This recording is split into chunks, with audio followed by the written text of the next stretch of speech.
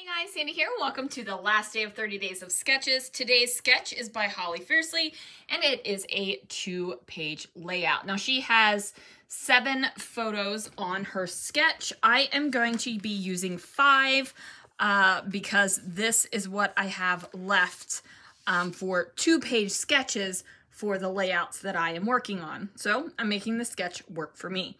Uh, just as a heads up, these are our some of our Christmas trees from 2021. Um, as you can see, our gaudy tree is halfway dead. Not a lot of decorations on these. Um, these three, this tree has been replaced. This has more decorations. This has more decorations. And this one has more decorations, which is the biggest Christmas tree, although you can't tell from these photos. So these three are the same size. Uh, I think they are seven feet trees. This is a seven and a half foot tree, and this is a nine foot, nine, nine foot tree.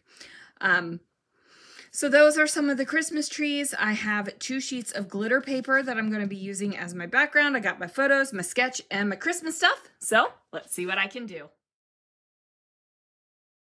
All right, guys, so this layout actually comes together uh, pretty quickly, and it's a really simple layout. And I think that that's okay, right? Like I've got a lot of photos on here.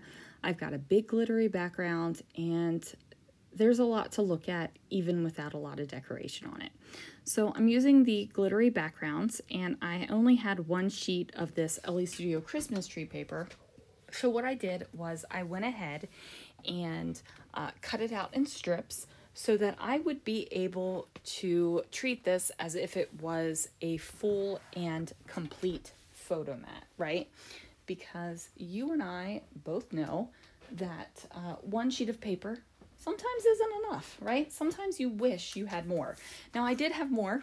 I had another sheet of paper uh, with this uh, Christmas tree print on it. However, I used it many years ago when I first got this collection. So, had to make do with what I had. Now in Holly's sketch, she does go ahead and have the photos uh, both off of the edges of the page and it is photo matted. Now, because of the amount of photos and the shape of my photos, I really wanted to use the 4x6 ones. I'm not going to do that. I'm going to have my photos kind of go off the edge of the page.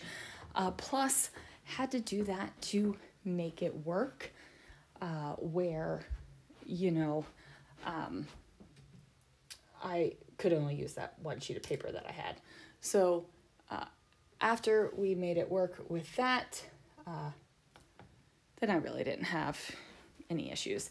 Well, my issues came up was trying to figure out how the heck I was going to decorate this. Because like I said, there's a lot going on on this layout.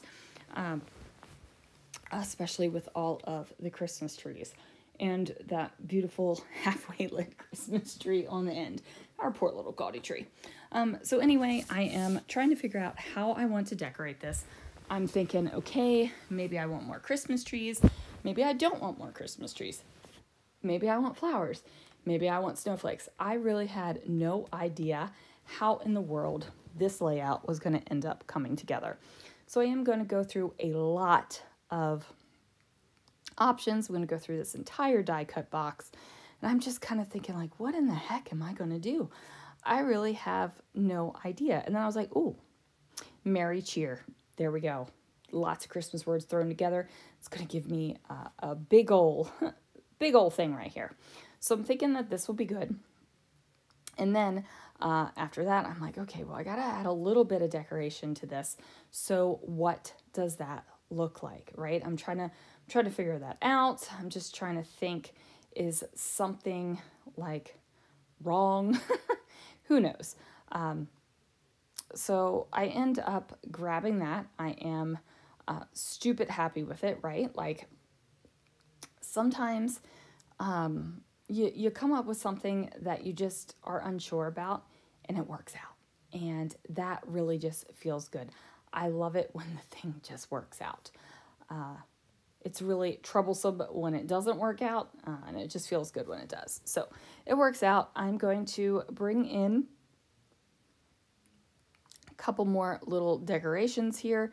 just to kind of um, represent the three areas of embellishment that she has on the sketch here, right? Um, my title's kind of in the same place, and then she's got these three areas of embellishment, and they aren't exactly going to be in the same place because of the way I have the photos uh, lined up across the page. I'm also going to basically ignore the splatter that's on the layout because I do have this glitter paper as my background and I did not think that the splatter was going to turn out in too fast fantastic of a way there, right? So I'm not I'm not stressing about that, uh, but there is uh, mixed media on that page. I just blanked. My mind just turned off for a second there. Uh, so there is mixed media on this page and um, on the layout sketch, I should say. And if I wouldn't have chose chosen this glitter background, I definitely would have gone with uh, something else so that I could have put that mixed media on there. Probably would have brought in a stencil. Um, I'm just saying, like, if, if I wouldn't have chosen the glitter paper as the background. But honestly, you guys, I was looking for Christmas paper that I had two of, and it's slim pickings. I don't usually buy two of the same papers anymore. I used to be a, every time I bought paper, I had to buy two. Um, but I've really changed that over the years, and I really only buy the paper I like and I know that I'll use. So I didn't have a lot left. And I didn't want to do plain cardstock.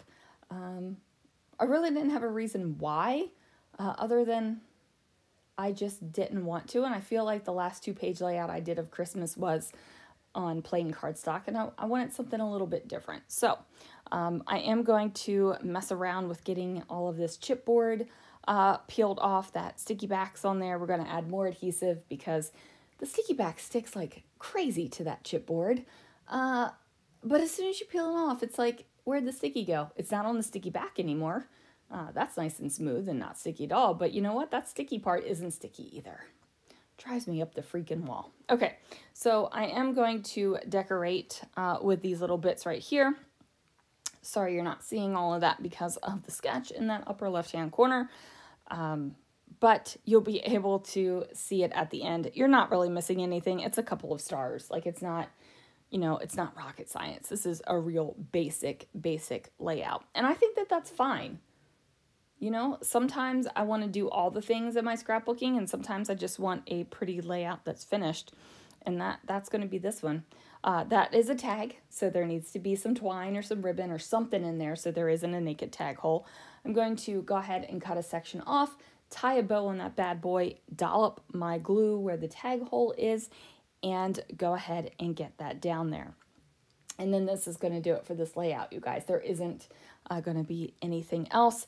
Uh, these are Christmas trees of that year. That's that's kind of obvious. Um, it's obvious that half the tree is dark, so some lights were busted. Like there's there's nothing I really want to say. There's no real stories behind this.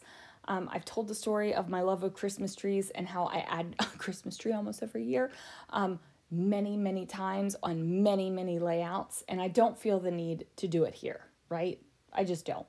Um, look at the pictures, look at the Christmas trees, enjoy the pretty. Like that's that's what I want anyone looking at this double page layout to do. You don't need a story, right? Right. Okay, so after I uh, get the rest of uh, this stuff uh, down with some Nuvo Deluxe adhesive. This is going to do it.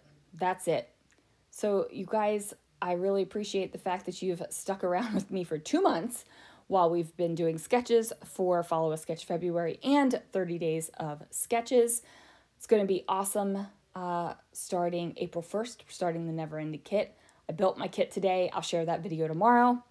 Uh, be sure to check out the Scrapping Reflections Facebook group if you want to see the Follow a Sketch Friday uh, or Follow a Sketch February sketches because Follow a Sketch Friday is coming. And then, um, yeah, so thanks so much for watching, guys, and I will see you guys again real soon for another video.